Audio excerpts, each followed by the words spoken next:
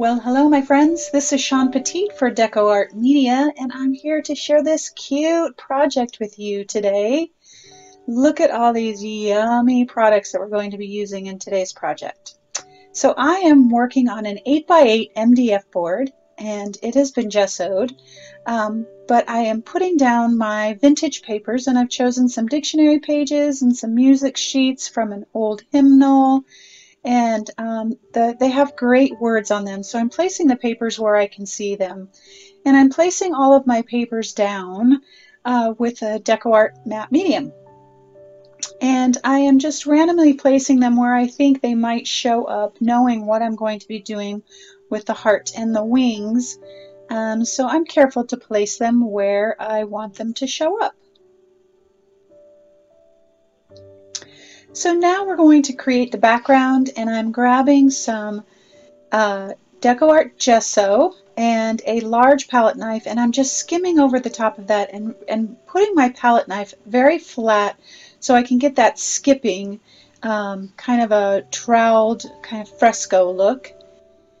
And now while the paint, while the gesso is still wet, I'm going to put out some fluid acrylics in medium gray and raw umber. And I'm now switching to a square palette knife because I have a lot of control with a square palette knife. And I'm just randomly placing my gray and my raw umber in different spots and I'm mixing the two together, letting the gesso mix in with it, letting it all just kind of mix together, getting, giving it a real rough and grungy textural feel.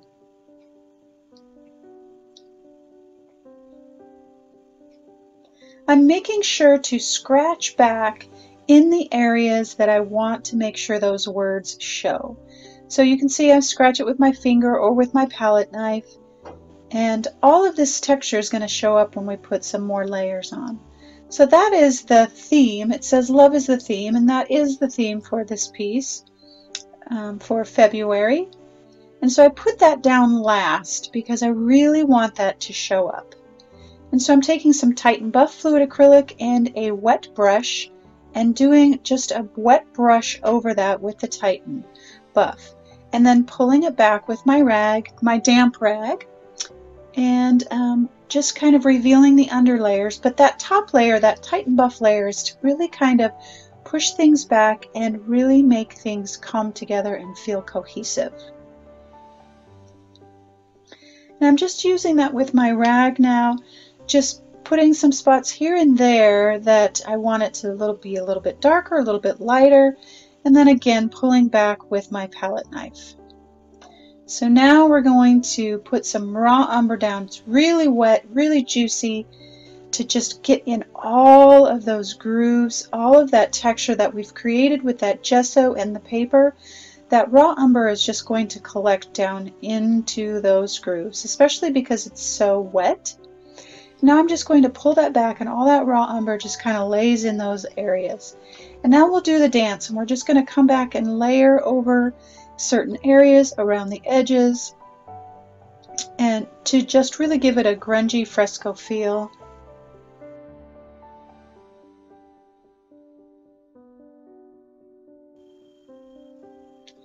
So I have just taken a really heavy duty piece of cardboard, it's actually the back of a paper pad, and some cardstock with some gesso on it, and sketched out my heart and my wings, and then cut them out. And now I'm just laying over some modeling paste and gesso mixed together. I really like that mixture um, it makes that modeling paste bright white and really gives it that ground, that kind of chalky feel that gesso does. And I love that, especially when I'm trying to get a lot of texture. So I've just covered that wing with that mixture of modeling paste and gesso, and I've taken a pencil and just um, drawn in, basically scratched out that modeling paste, the design of the feathers.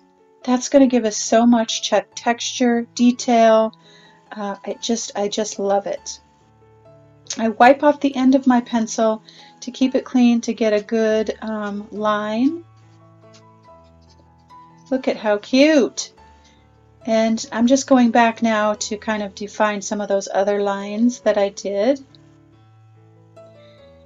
And I loved that texture so much that I wanted to put it on the heart. So I'm using the same mixture of gesso and modeling paste and just with my square palette knife, placing that over the heart to make sure that it's got a lot of texture. Now I'm going to add some crackle paint, which is one of my favorite products of DecoArts.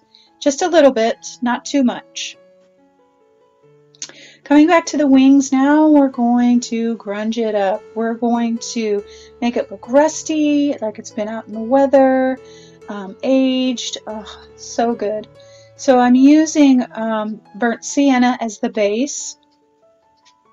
And I'm using a larger, wider, more flexible brush that holds a little bit more water and um, that is so that I can get a real watered down effect. And I want that watered down effect to, to happen because it will seep down into those um, lines that we created in our modeling paste. Now I'm coming back in with quinacridone gold. And again, this is all just a layering process and we're going to go back and forth to create this look of rusty, weathered, like those are metal wings that have been out in the weather for a long, long time. This is cobalt teal. And again, it's uh, for that rust effect. And all of those colors are somewhat mixing because I'm not really drying in between. Um, and I'm just kind of placing them on there and then picking them back up. And then we'll come back in with some more darker colors. Now I'm coming in with a less watered down brush to really get some really good color. And again, do this dance of laying it down and pulling it up and finding the right mix of what looks good and what I think uh, it would look like if it was weathered and rusty. So I'm going to dry this time and come back in with some raw umber and really go around the edges, drip it down the wings, really make it look like it's aged and weathered.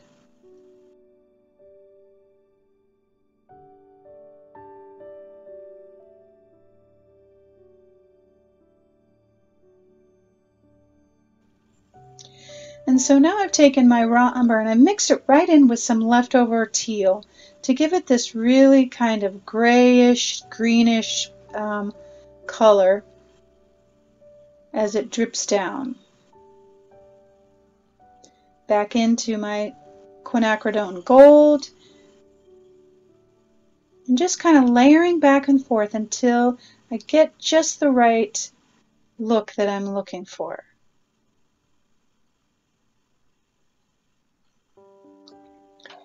So I dried that and I came back again now to really darken up the edges with some raw umber.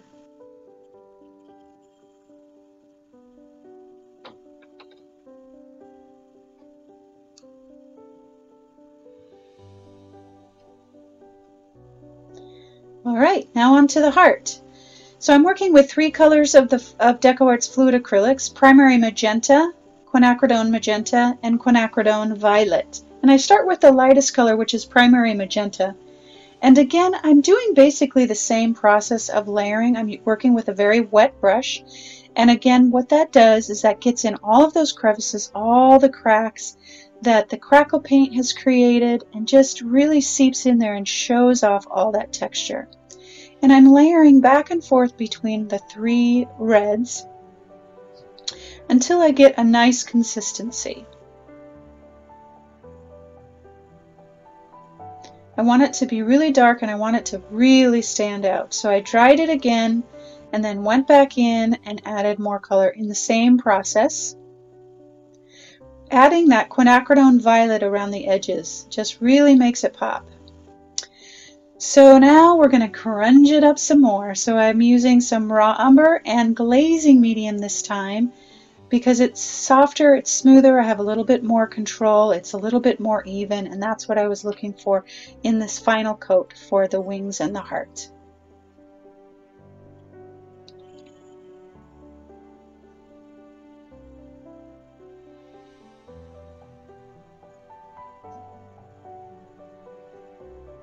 Coming back in with just a little bit more raw umber just on certain spots to really get it dark, really get it grungy.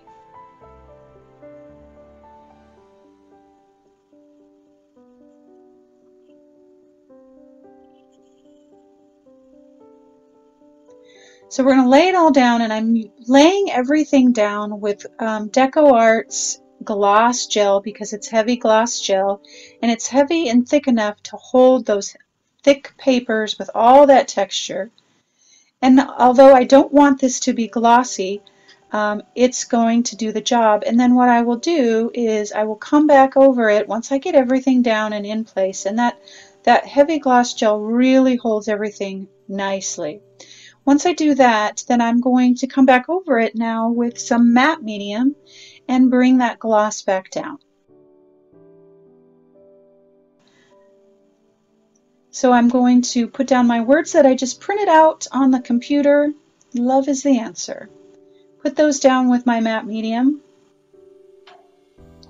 And now I want some shading. And because these were so thick and chunky, I couldn't get my charcoal pencil around it too well. So I just watered down some carbon black and used my brush to really get in the edges and it worked better um, than my charcoal pencil because it got around the edges and you didn't see any bare edges or anything like that and was really able to add some great um, contrast and shading.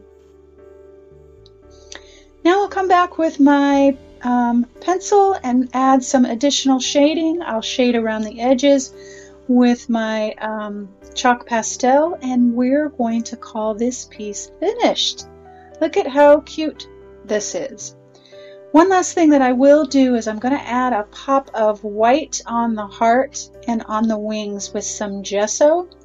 And that's just to bring the eye right to where the focal point is, to add some contrast in the piece. And it just immediately brightens it up. Even though we are working on getting it grungy, it just really does the job. So I hope you enjoyed this this project and um, all the supplies and everything will be listed on the DecoArt Media blog and I hope you have a wonderful day and I look forward to doing another project with you soon.